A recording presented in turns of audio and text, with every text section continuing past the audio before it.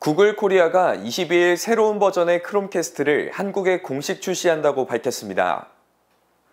크롬캐스트는 스마트폰, 노트북, 태블릿 등 모바일 기기의 다양한 콘텐츠를 TV에서도 편하게 즐길 수 있도록 지원하는 미디어 스트리밍 기기입니다. 지난 2013년 출시된 후 전 세계에서 총 5,500만 대 이상의 크롬캐스트와 크롬캐스트 내장 기기가 판매되는 등 흥행에 성공했습니다. 새로운 크롬캐스트는 기존 버전보다 15% 향상된 하드웨어 속도로 1080p 해상도를 초당 최대 60프레임으로 구동할 수 있습니다. 풀 HD급의 영상을 끊김없이 재생해 실물에 가까운 선명한 이미지를 볼 수 있다는 평입니다. 또한 가정에서 실내 인테리어와도 조화를 이룰 수 있게 더욱 간결해진 디자인으로 설계됐습니다. 특히 구글 홈과 연동돼 음성 조작이 가능해져 활용성이 더욱 높아졌습니다.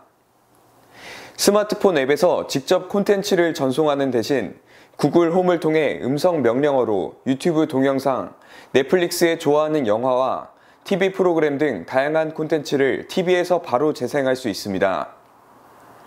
이 밖에 TV 및 영화, 음악, 오디오, 사진 및 동영상, 오락, 게임, 스포츠 등 여러 분야에 걸쳐 2,000개 이상의 다양한 앱과 호환이 가능합니다. 푹, 왓챠플레이, 벅스, 지니뮤직, KBS 뉴스 등 앱을 통한 콘텐츠 재생은 물론 디어 헌터 2018 등 게임을 TV 화면에서 플레이할 수도 있습니다.